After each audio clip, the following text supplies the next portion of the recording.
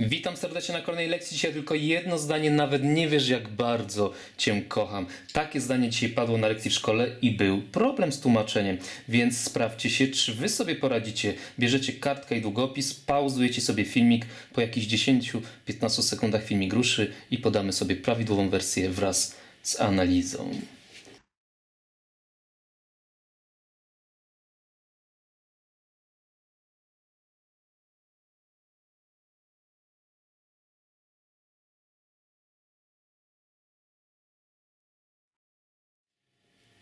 I witam z powrotem po krótkiej przerwie. Nawet nie wiesz, no nawet to jest even, ale uwaga, nie wolno dać na początku zdania, bo u nas się tak zdanie zaczynało, nawet nie wiesz. Przede wszystkim w naszym zdaniu nie było też osoby, bo my uwielbiamy zdania bezpodmiotowe.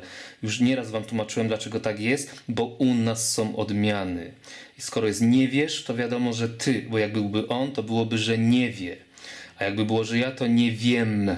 Także u nas nie trzeba dać osoby wiadomo o kogo chodzi. W języku angielskim nie ma odmian, więc musimy powiedzieć o kogo chodzi, wskazując tutaj na you.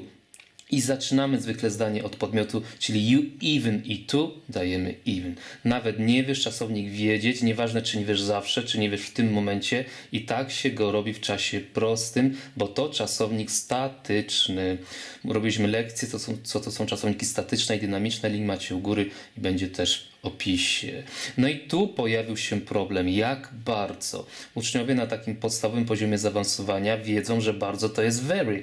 No i tutaj próbowali na lekcji gdzieś wcisnąć very. Oni niestety tak nie mówią, także Anglik nie powie jak bardzo, tylko jak dużo cię kocha. I znowu tutaj szyk wyrazów w zdaniu, czyli nie ma cię. Musi być I love you i tu jest cię. Robiliśmy już nieraz lekcje o właśnie szyku wyrazów w zdaniu. Link wam rzucę pod koniec i w opisie. Dzięki.